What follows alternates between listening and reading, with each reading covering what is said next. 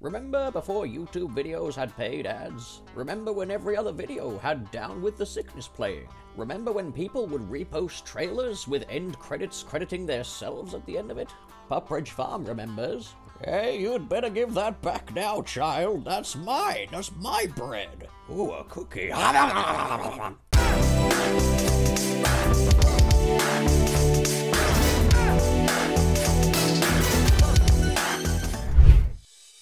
I'm going to take you on a trip back in time.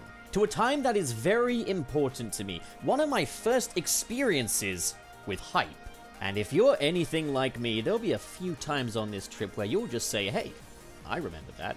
The only question is, will you come with me? No, seriously, get in the fucking box!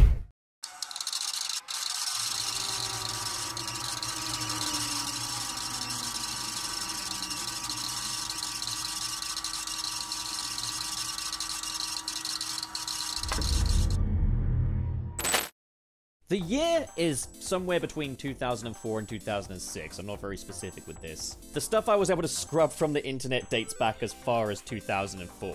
I would really love to know what year Spider-Man 3 began its promo tour, but the fact that in 2021 we had another Spider-Man 3 has made things really difficult to research for this video. So thank you, MCU Spider-Man. You always ruin everything! But I can't stay mad at you. I love you. Welcome back to the pre Spider Man 3 years, unless you weren't born yet, in which case, welcome. This is all gonna be very foreign to you, because there was a time when the hype for Spider Man 3 was off the charts but we're not there yet. If the ending of Spider-Man 2 was anything to go by, the Green Goblin would be factoring into this story in a big way, with Harry Osborn taking up the mantle. And so naturally, Spider-Man fans were speculating how would this new Green Goblin be different to the previous one, and there was some speculation that Harry could maybe go on to become the Hobgoblin, and that's certainly what I thought back when I was a kid as well. Now, unlike any Spider-Man movie before it, Spider-Man 3 launched at a renaissance for the internet age, where forums and notice boards were giving fans much more of a voice than they'd ever had before, and just booming in popularity, so Spider-Man 3 saw a fan speculation and fan artwork boom as fans would make their own posters and speculate on who the villains would be and how they would look. And guys, it's easy to poke fun from today's perspective. We live in a time where you can just get Adobe Photoshop with a subscription fee. And it's, I suppose, affordable depending on your financial situation, but like your average schnook does have access to it. Not to mention, the general consumer computer is a lot more powerful than it used to be. Back in the mid 2000s, this stuff was a lot less accessible and a lot more difficult to use. Professional standard software was not so accessible to the consumer. So back at that time, this stuff was pretty mind-blowing. Let's fast forward now to our very first look at Spider-Man 3. And at the forefront of this newly blossomed promotional campaign is the black suit. And sure, that's that's exciting and all, but it can only mean one thing. Venom is on the way. Now, I can only think of one time when Venom wasn't the most popular Spider-Man villain among fans, and that was prior to when Venom was created. Ever since his creation, he's been a fan favorite. And so naturally, everybody lost their minds. There were questions about the casting of Topher Grace as Eddie Brock, given that he didn't really fit the typical Venom archetype. He's not the ultra hairy bodybuilder that Eddie Brock in the 90s was, that's for sure. But I think that concern was just eclipsed by the fact that we were finally going to be seeing Venom on the big screen, and as a kid, I was super excited. The thing was, in the trailers and promo material for this film, they were very secretive about Venom. There were certainly teasers for him, but nothing showing us a clear glimpse at him. At least nothing to an official capacity, because back then I would scour the internet every single day. Oh yeah, back when I was a kid, back I would say like a pre-2006 time. Every day after school, I would hop on my dad's Apple Mac and really dive deep into the internet to try and find a first glimpse at what Venom would look like in Spider-Man 3. I typed Spider-Man 3 Venom in on Google's search engine. Yeah, to me this was the height of sleuthing back then, but I did this religiously. nothing would stop me from, first thing, getting home and typing Spider Man 3 Venom on Google Images. And one fateful day, I thought I'd finally found it. Ta-da! This is Venom in Spider-Man 3. Yep, I genuinely believe this. This, for a short period of time, was my desktop wallpaper on my little profile on my dad's old Apple Mac. Let's ignore the fact that it's a Spider-Man 1 render there. Let's ignore the fact it says summer 2006.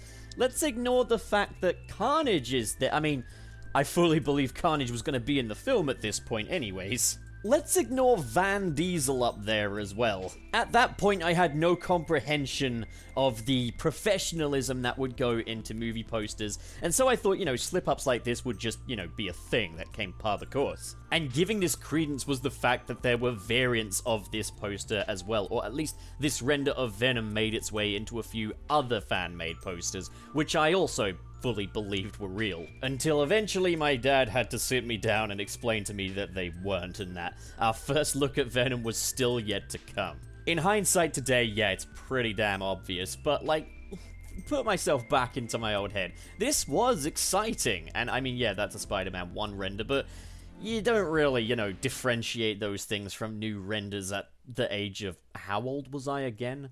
Hey, little pup, how old are you? Wait, what are you doing in my room? Dad! Oh, shut up, pup! But not to worry, we had a piece of artwork which was much more in line with the actual promotional artwork of the Spider-Man 3 movie, and this, admittedly, I can see why I really believe this. It's got that rainy aesthetic, that very murky blue that the Spider-Man 3 posters had. Whoever did this one back in the past was clearly of quite a higher caliber, It must have had quite a good PC, must have had access to some good software. And you know, aside from my objections to Venom having visible nipples, this wasn't bad. Although yeah, it does look very much like a naked man in black ink. And geez, imagine having Venom without a big white spider on his chest. Can you imagine? Oh! Man, some of these, in hindsight, were really, really funny. Like, really, really funny. There was, of course, more to the Spider-Man 3 hype cycle than just Venom and the Green Goblin, as the Sandman would also be introduced in Spider-Man 3. And going by more fan posters and manips, it's safe to say that people were expecting this guy to have a bit of a more apocalyptic impact than he ended up having. But hey, people were really making use of the sand visuals from the Mummy film, which I guess is kind of smart for 2005 internet. And going forward, we definitely get clearer looks at Sandman, so these artworks were a little less speculative for how Sandman would look than the Venom ones. Like the Venom ones, some of these are really hilarious in hindsight. This one here, in particular, is just really, really funny to me. In a way that it definitely would not have been back when I was a kid. And that's not down to any humor flying over my head or anything. I just took things way more seriously as a kid. Like, it, there's nothing about this that should even be fun. He's just forcing his head down, and it is there's nothing sexual about it or anything. It's just the simplicity of this is just really, really funny to me. Is it funny to you? If it's not, then you're probably a bit homophobic. Yeah, that's that's the narrative I'll go with. Then, one very eventful day came. An unfinished version of the Spider-Man 3 theatrical trailer leaked online. Notable differences including previs VFX in the place of the finished versions that we would see in the theatrical trailer. But this was just a little bit longer. There was just a little, little bit at the end, which we all wanted to see. Because this was the formation of Venom. And I remember pausing this, trying to pinpoint the right moment where I could see a good look at him, and he looked fantastic. And I needed to see more. I needed to see more of this Venom. And also, upon reflection, he does look quite similar to this piece of fan art here with the nipples. But a fateful day came in the March of 2007, where Medicom Toys would reveal their Spider-Man 3 line, which included just the basic red and blue Spider-Man, which is pretty sweet actually. I would love to get my hands on one of these, but that's just, that's not going to happen.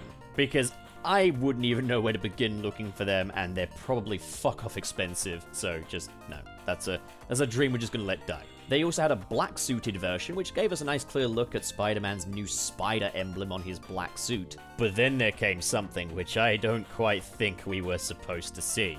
Our first very clear look at Venom. And he didn't actually seem to match the one that was in the unfinished trailer. Hmm. You know, in hindsight, it's actually a little weird how close this was to the release date of the film, which would be May the 4th, at least in the UK anyway. Time really does distort with age, doesn't it? I could, I could swear the wait was way longer between this review and the actual film itself. So looking at Venom here, people were really excited to get their first look. I was really excited to get my first look, and I think the general consensus was people were disappointed with how kind of slim and scrawny he looks on this figure here. He doesn't really look any bulkier than Spider-Man himself. But I got the thing I wanted more than anything else, a nice, big, wide jaw full of fangs. This would be the first of many little looks we'd be getting at Venom because it wouldn't be long before we hit the jackpot. New Spider Man 3 trailers, which were very revealing. We'd see John Jameson's return from space with the symbiote aboard the ship. Harry Osborn fully clad in his father's goblin gear. A city engulfed in sand. And Venom playing a really active role in this story, causing trouble wherever he went. These new trailers blew my freaking mind everything that the previous Spider Man 3 trailers had been holding out on had been revealed here, and it was awesome. And to me, today, in the present, these trailers are the absolute height of all nostalgia. Move over, Doug Walker, because this is the thing I associate with nostalgia. Why? Because none of this was in the fucking movie. Again, I really feel like I should have known. Ah, silly old pup. So gullible. There he is, officer. Hey, what are you doing staring at that minor? Wait, it's not what you think! Yeah, tell that to the judge. No, look, it's literally me! It's literally me! Ha! Hope I don't grow up to be like that in the future. Take that, asshole! Stop fucking swearing, son! Sorry, Dad! There were so many clips here reused from previous Spider Man films with the suit recolored to black. So many reuses of existing Green Goblin footage, but the question how did they get Venom in here? There's no live action Venom, how is he here?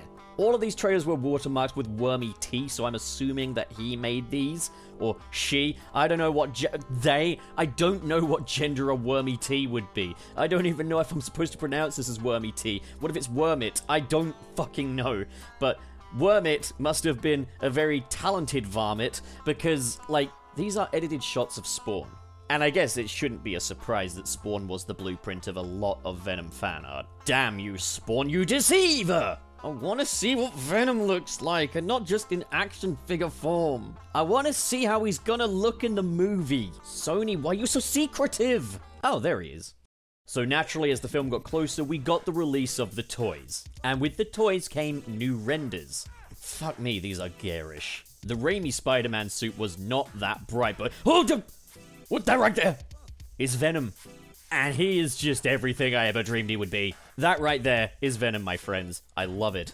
Or is it? Because new behind the scenes images have come about and his mouth is definitely a lot smaller. And that's my main cause of concern right now. Turns out it was nothing. So, obvious departure here is that this Venom has webbing over his suit, just like the Black Spider Man before him. Not that one. Uh, can you believe, actually, this was before Miles Morales existed? It feels like he's always been there, you know? But this, yeah, we got undeniably a look at the Spider Man 3 Venom, and I was very, very happy with how it was shaping up to be. And of course, with all the toys out, I begged my parents to take me to Toys R Us and pick one up. The Venom I got was this one that came with this goo pod of like this uh, silvery goo, and it had this big chomping jaw that came with it. I liked the figure, but I was a little disheartened when I saw that my Spider-Man figure was actually taller than my Venom figure, because for some reason they changed the scale from 6 inch to 5 inch. And it turns out that among collectors, this was a huge bone of contention. Not only that, but the fact that Venom was purple. Now, the character in the past has been shaded in purple and blue and other tones, but Venom wears a black suit. There's a reason why the Spider Man suit is called the Black Suit. So to have like a three dimensional action figure in purple just didn't make a whole lot of sense. But it does turn out that there is a reason behind this. The actual practical Venom outfit in Spider Man 3 actually was purple, and was then color graded into black. Or at least it was like a purple black, you know, like black with a purple sheen to it. Not sure why they made it purple. Maybe they intended on having more of a nod to the comics. Maybe that's just the color they wanted the Venom suit to reflect. As in the little glimpses at Venom we got in the final trailer, he definitely wasn't purple. Wait, vinyl trailer Venom?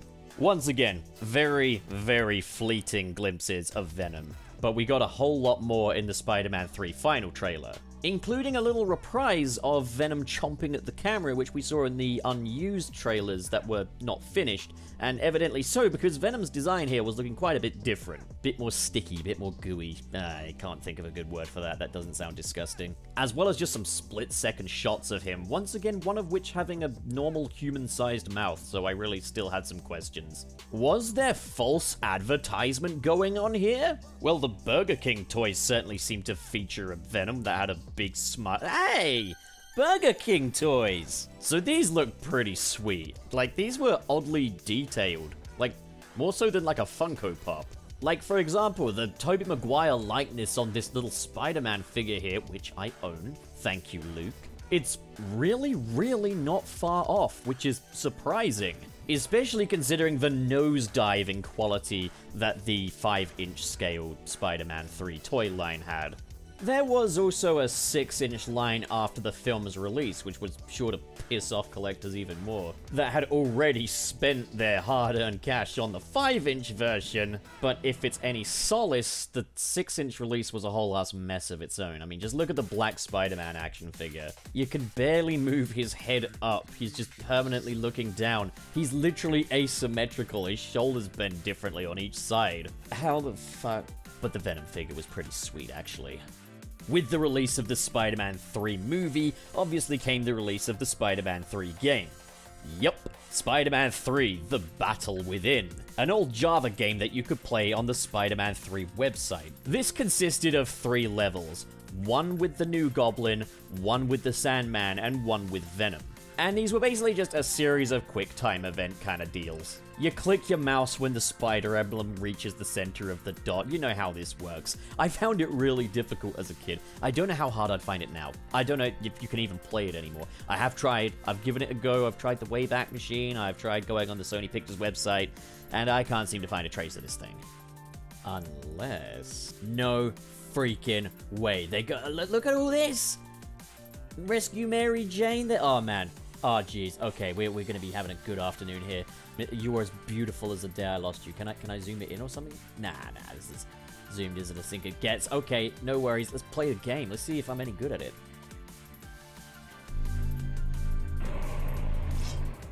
I, I did good there. I raised the symbiote power. That's I used the power of the symbiote. Yeah, this is way easier than when I was a kid, man. Like, it's crazy. It might have been lag. Maybe it was lag. I'm gonna blame it on lag. Ah. Oh, that was poor. Ah, no! Okay, this is where I got stuck in the past, I think. Wait. Wait, where's the where's the rest of it? Where where is the Venom part? I know they updated this every so often, so maybe this version doesn't have vet. Well, that sucks.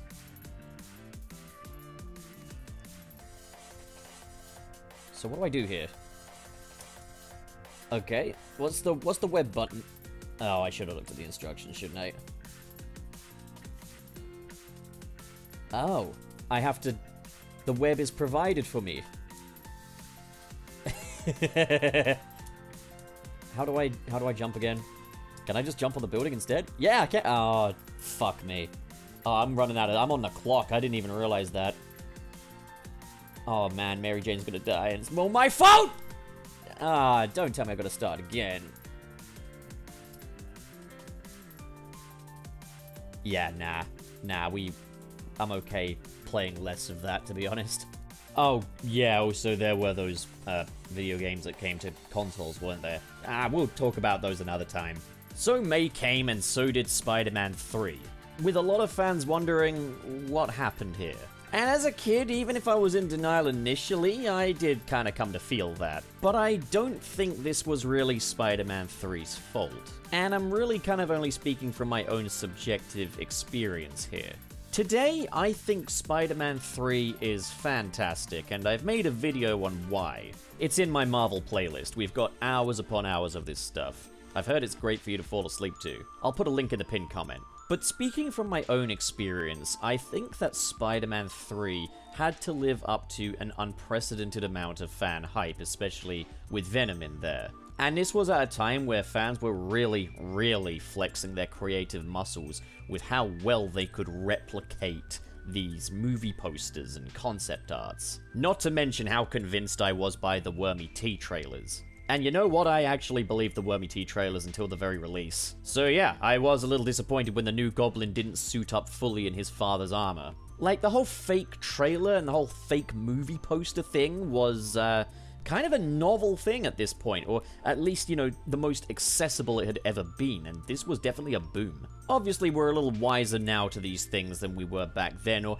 or maybe I'm trying to speak for everyone when I can really only speak for myself. I was a kid, and I got sealed right into the hype culture surrounding Spider Man 3. This was like my first experience of feeling integrated into the internet's hype culture. And I get the feeling that the same can probably said of a lot of kids who grew to resent Spider Man 3 for not living up to these fan made trailers and concepts and such. When you're not that age, it's kind of impossible not to build these things up to an unrealistic degree when there's so much material out there that's been made by fans expressing their dreams for what's going to be on the big screen, when in actuality, what we got was a perfectly worthy sequel to Spider Man 2 one that would wrap up the story between Peter, Harry, and MJ. Today, I feel like we can kind of look back and laugh. And that's what I wanted to do today, is just take a look back at that time, just a peek through the looking glass of pre-Spider-Man 3. Because to me, this stuff is the absolute epitome of nostalgia. So after I take you guys home back to whatever year it is while you're watching this, for your next adventure, I suggest rewatching Spider-Man 3 without all of that hype culture in your head. And maybe you'll have a little fun. Maybe you'll be able to make peace with a part of yourself that maybe hurts a little bit. Maybe your opinion won't change, but hey, you tried. So now we wait for me to be released on bail, and then we'll just hop back into the time machine and uh, go right ahead. I wonder how long that's going to take.